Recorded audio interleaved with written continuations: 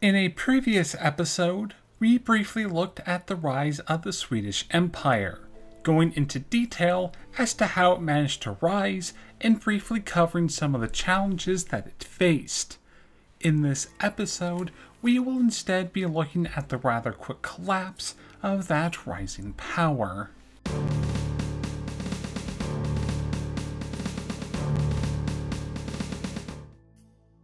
Even as the Swedish Empire was rising in military strength and dominance, cracks were already beginning to form in the nation. Ones that would be extremely difficult or effectively impossible to resolve, and these factors would eventually lead to the downfall of the Nordic Empire.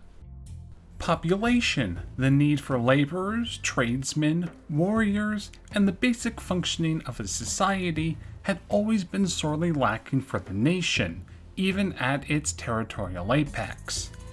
In 1700, the Swedish mainland had a population of around 1.9 million, 1.4 million in Sweden proper, and another 500,000 in the vast wilderness of Finland.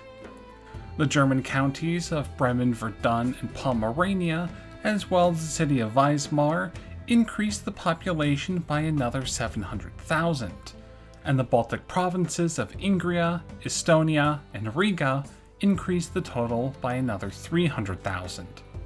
All total, the Swedes had a max population of around 3 million. In comparison to neighboring powers at the time, Poland, which was much more concentrated in its population spread, came in at 11 million, the giant eastern power Russia came in at 14 million. This pure disparity in manpower was always a major factor in planning for Sweden, as the nation would not be able to outlast anyone in an attritional war. During earlier conflicts, they were able to mitigate this, as Sweden implemented and used a much more effective form of raising, supplying, and training their military one which allowed them great success on the battlefield. Indeed, great administration skills is what saved the empire from total destruction in earlier centuries. Yet, when states with better agricultural potential and greater populations started to catch up administration wise, Sweden could only sink in relative power. Sweden would stick to the particular model of raising armies instituted by King Charles XI in the late 17th century. This model, known as Indelningsverket, acted as a means to ensure a steady supply of men for the army, while also not bleeding the country dry of laborers. Local communities were charged with providing a number of men for the army per year. Land owning farmers were tasked with coming up with recruits, and in return, they enjoyed various tax exemptions. The soldiers, aside from the regular pay, were also given a home and a patch of land after their stint in the army, which would normally last five years. Other special provisions could also be stipulated in the soldier's contract. The soldier's mobilization would be based on a rotation system, meaning that men would normally not be away from home or their families for too long, and only a section of the men would be raised at any given time.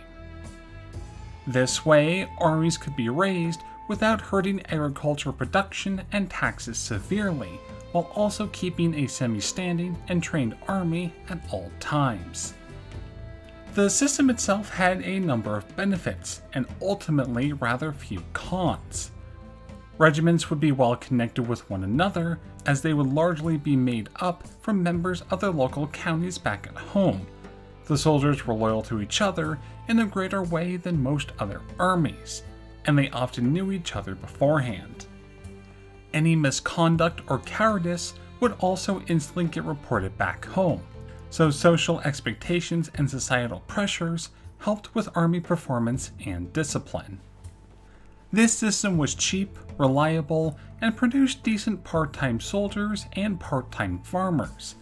It was cheaper than hiring professionals, didn't rely on minted coinage, which was scarce at times, and provided troops that in some ways were more reliable, with its use of manpower being quite efficient prior to general conscription.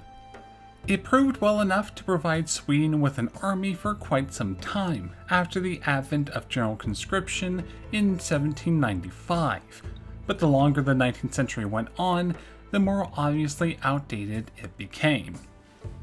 The first major and main event that would cause the downfall of the Swedish Empire was that of the Great Northern War. This 21 year long war was too much of an attritional war for the Swedes, who, as stated previously, relied more on a smaller, better trained army to fight against larger, less organized states with greater populations.